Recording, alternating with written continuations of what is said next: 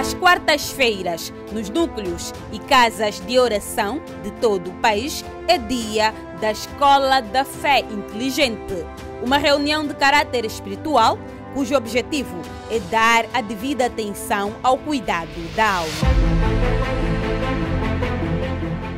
Alegria foi o tema levado à reflexão no estudo do fruto do Espírito Santo, que despertou a atenção dos participantes. Essa alegria que é o contentamento, satisfação, exultação, júbilo, é uma alegria que não é nos lábios, não é no rosto. Essa alegria é na alma da pessoa. A alma da pessoa se torna uma alma alegre, feliz. Se nós termos conosco o Espírito de Deus em nós, então nós seremos alegres. Mas não é uma alegria momentânea, não é uma alegria passageira, é uma alegria na alma e que dure para sempre. O Espírito Santo molda o coração de quem tem Ele como prioridade. Por isso, quem precisava da alegria que vem do alto, buscou a presença do Altíssimo com toda intensidade. Seja batizado, seja selado, carimbado.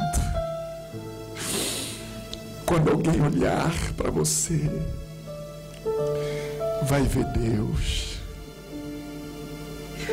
vai ver Jesus. Maravilha!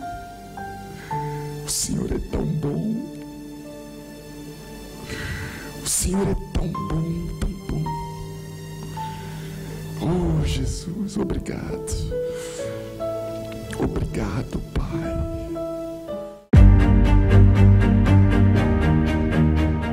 Quem deseja aprender sobre a palavra de Deus, participa da reunião da Escola da Fé Inteligente.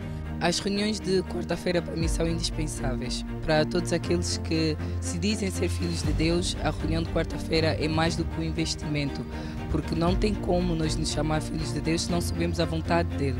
Então é na quarta-feira onde nós descobrimos o que Deus na realidade quer de nós. E tem sido experiências maravilhosas todas as quartas-feiras, principalmente agora que estamos a falar do fruto do Espírito Santo.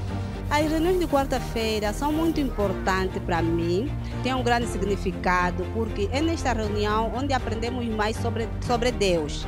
Aprendemos mais sobre, sobre a palavra de Deus, eh, aprendendo sobre a palavra de Deus, estamos a aprender mais sobre o próprio Deus. Nós já temos no sangue né, a reunião de quarta-feira, como é a reunião que nós aprendemos sempre desde o início da igreja, que é a reunião dos filhos de Deus hoje. A alegria é um dos frutos do Espírito Santo. Toda pessoa que tem o Espírito Santo tem um caráter de Deus e a alegria faz parte de um desses caráteres de Deus. Eu faço esse apelo a todos vocês que estiverem em casa, no serviço, seja o nosso convidado na próxima quarta-feira, que tu vens e não tens nada a perder, só vai sair daqui uma alma nova.